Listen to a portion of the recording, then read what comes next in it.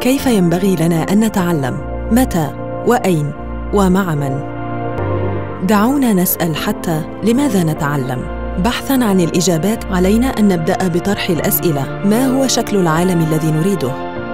ما الذي يسعنا فعله اليوم ليكون عالمنا أفضل من أجل أجيال الحاضر والمستقبل؟ تدرك اليونسكو أهمية امتلاك رؤية وبناء الحوار. واتخاذ إجراءات تسمح لنا من خلال التعليم بإصلاح كوكب متضرر والعيش في سلام والاستفادة من منجزاتنا التكنولوجية على أفضل وجه. عينت منظمة اليونسكو لجنة دولية واستقت ملاحظات مأخوذة من أكثر من مليون شخص لإعادة تصور الطريقة التي يمكن أن ترسم بها المعرفة والتعلم ملامح مستقبل البشرية وكوكب الأرض. ويتفضل بشرح الطريقة اعضاء اللجنه ورئيستها We're all together on this planet, but we do not share others' resources well or use them in a sustainable manner, nor do we live well enough with one another. Unacceptable inequalities exist between different regions of the world. We are far from achieving gender equality for women and girls. However, education is one of the most powerful tools at our disposal. Without abandoning all that we know, we need to transform education. Classrooms and schools are essential, but they will need to be built and experienced differently in the future. Work is changing rapidly, and education will need to build skills needed in 21st century workplaces. At present, too many digital divides exist, particularly in Africa, so we must harness the great promise of the digital revolution. Over the last two years, it has been my privilege to lead UNESCO's International Commission on the Futures of Education, with inputs from over a million people who shared their hopes and fears and ideas. We are pleased to now present this report, Reimagining Our Futures Together, a new social contract for education. من المساهمين في التقرير قاده مفكرون من كل اصقاع العالم Le rapport a deux principes fondateurs. Le premier concerne les droits humains et en particulier le droit à l'éducation, conçu d'une manière ample, large, de façon à embrasser la diversité, toutes les diversités qui existent dans le monde, mais aussi à embrasser l'idée d'un cycle de vie qui va dès la naissance jusqu'à l'âge adulte, avec toutes les conséquences, cette idée d'une éducation tout au long de la vie. Le deuxième principe fondateur concerne l'idée qu'il faut agir ensemble, l'idée de l'interdépendance dans le monde, et à partir de cette idée, nous appelons à construire l'éducation comme un projet public et un bien commun, un bien commun mondial. Et c'est pourquoi l'idée de participation est tellement importante pour nous dans ce rapport. Our report, Reimagining Our Futures Together, a new social contract for education, which is really an invitation to a broad, inclusive, democratic, and participatory dialogue with each and every one of you, with every person on this planner with an interest in what educational institutions do. A dialogue designed to ask the question how do we become more effective in preparing people so that they can fully participate civically and economically in their societies and contribute to build a more inclusive and a more sustainable world? The report brought the idea of a common. It means together. This is why the title we use the, the, the word together. The purpose of the report is how to put humankind together in the global world. And to be together today, we need to have education. Education is the vector of progress, is the vector of togetherness.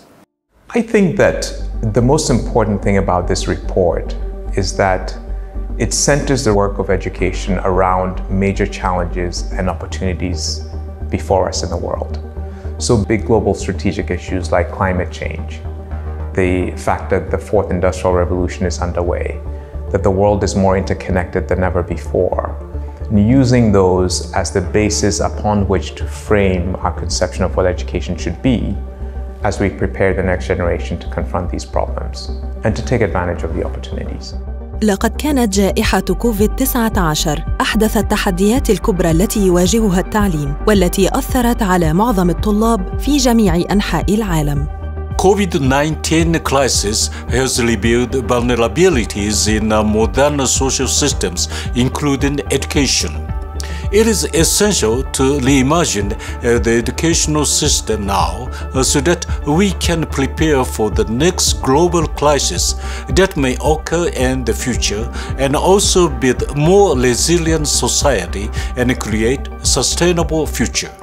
This report is happening against the backsliding in democratic governance that we've seen all over the world. It's a backsliding in democratic governance that's also building up on significant spread of exclusionary identity based politics, greater inequities. They're also building up on the discontent, basically, of people who feel they've been left behind uh, by a globalized world order.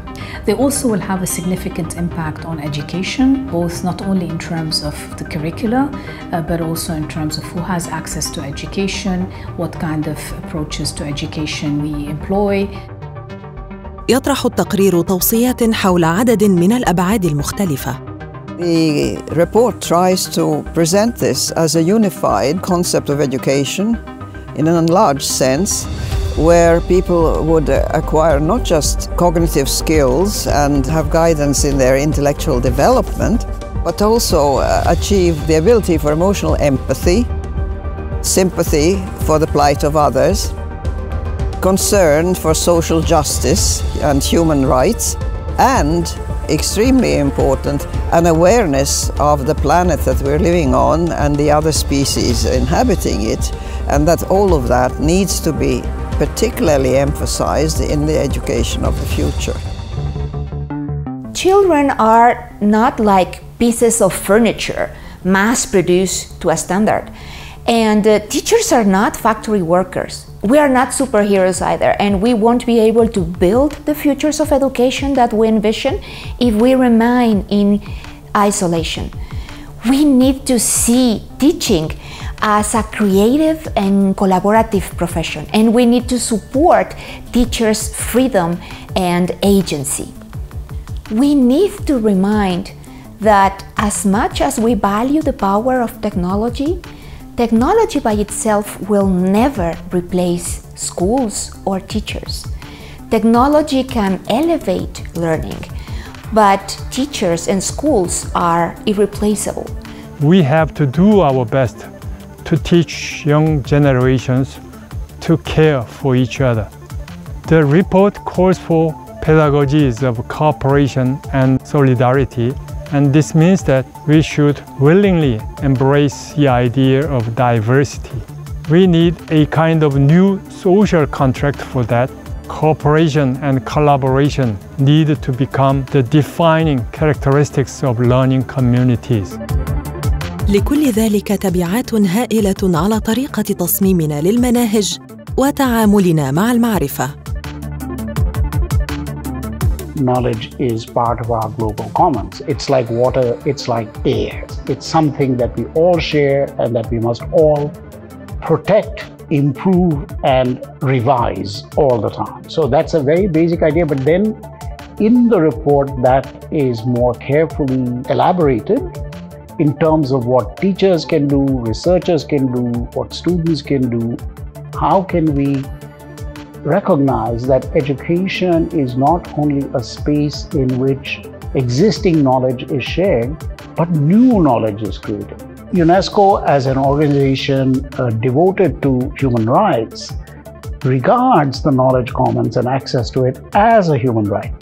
Therefore, the authors of the report are committed to the idea that states and governments must play a vital role and not just allow the production and distribution of knowledge to fall entirely uh, into the hands of the marketplace and let the chips fall where they may. We need to work together internationally, we should have a commitment to expand our resources for education, especially for those people in the South. We also need to understand the knowledge in the past in general generated from the North. But to coping the challenges, we need to have knowledge not only from the North, but also from the South. And we need to have trilateral cooperation in our educational effort. And uh, the widening disparity between the have and have not. We should educate our students with a morality to understand that humanity has common futures. And uh, we should have the empathy to understand the needs of everyone and to support anyone. La dimensión de los derechos humanos en la educación se hace indispensable. El segundo punto para mí tiene que ver con la valoración, la inclusión y el reconocimiento de los derechos de los pueblos indígenas y de las culturas, las diversidades culturales, y que esto se vea como una riqueza de la cual también los estudiantes y las nuevas generaciones se deben nutrir. Lo tercero tiene que ver mucho con la sostenibilidad del planeta, la inclusión en el sistema educativo, lo que es el impacto del cambio climático, esta forma de mirar el mundo solo depredando y pensando en una explotación de recursos naturales, nos parece que tiene que parar y la nueva generación tiene que entender que hay que cuidar el entorno, hay que cuidar el planeta y eso significa también cuidar la vida de la humanidad. يضم التقرير دعوة إلى إجراء الأبحاث وإلى التعاون الدولي والتضامن العالمي. هو يفتح نقاشات ولكنه كذلك أداة يمكن أن تكون يعني أداة هامة لرسم مسارات لتغيير التربية وجعلها تربية للمستقبل يمكن لصناع القرار أن تكون لهم الأدوات من أجل إصلاح التربية والتعليم يمكن المجتمع المدني أن يستعمل هذا التقرير كذلك للقيام بحملات من أجل الدفع في اتجاه يعني تطوير مستقبل التعليم. Our commission was a commission of experts, but I think one of our conclusions was that it's not our expertise, but the expertise of future generations that we want to empower through this report. I think the recommendations that are the most important have to do with transforming education to meet the needs and challenges of our future, to meet ecological challenges, to meet the challenges of peace, and to make sure that no one is left behind. No global dialogue can meaningfully move forward without embracing local, properly inclusive, and collaborative strategies. This global dialogue is no different, and the starting point has to be within our own communities. We must insist that every voice is heard and represented, and we must ensure that all stakeholders across all sectors step up to the plate and work together towards realizing this common good.